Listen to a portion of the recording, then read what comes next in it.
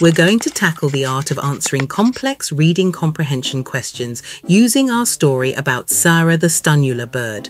We'll break down each question, analyze it, and craft thoughtful responses. Ready? Let's dive in. Question 1. What is the significance of the setting in the story, and how does it influence Sarah's journey? This question asks us to look at the setting and its impact on the character. The setting is more than just a backdrop, it shapes the story's events and the character's experiences. Let's look at a potential answer. The setting of the magical island is significant because it represents a paradise where Sarah feels at home and accepted.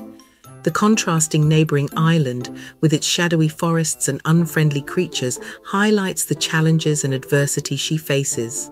This journey from comfort to conflict and back again emphasizes Sarah's realization of the importance of kindness and belonging. All. Question 2. How does the author use metaphors and similes to develop Sarah's character? This question focuses on literary devices. Metaphors and similes make characters vivid and relatable by comparing them to familiar images or concepts. Let's unpack a potential answer. The author uses metaphors and similes to create a vivid picture of Sarah, describing her plumage as white as freshly fallen snow and her eyes as big and round as saucers. These comparisons highlight her uniqueness and innocence, making her a captivating and endearing character. Her distinct appearance and demeanour set her apart, underscoring the theme of individuality. So, your task is to identify a metaphor or simile in the passage and explain how it adds depth to a character or scene. Question 3. What theme or lesson can be drawn from Sarah's adventure and how is it conveyed through her experiences?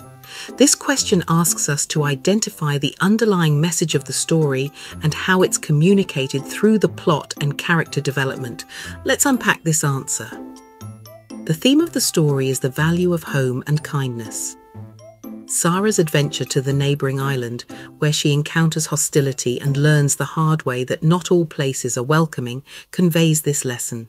Her return to her own island, where she is embraced by warmth and friendship, reinforces the idea that true belonging and happiness come from being surrounded by love and acceptance.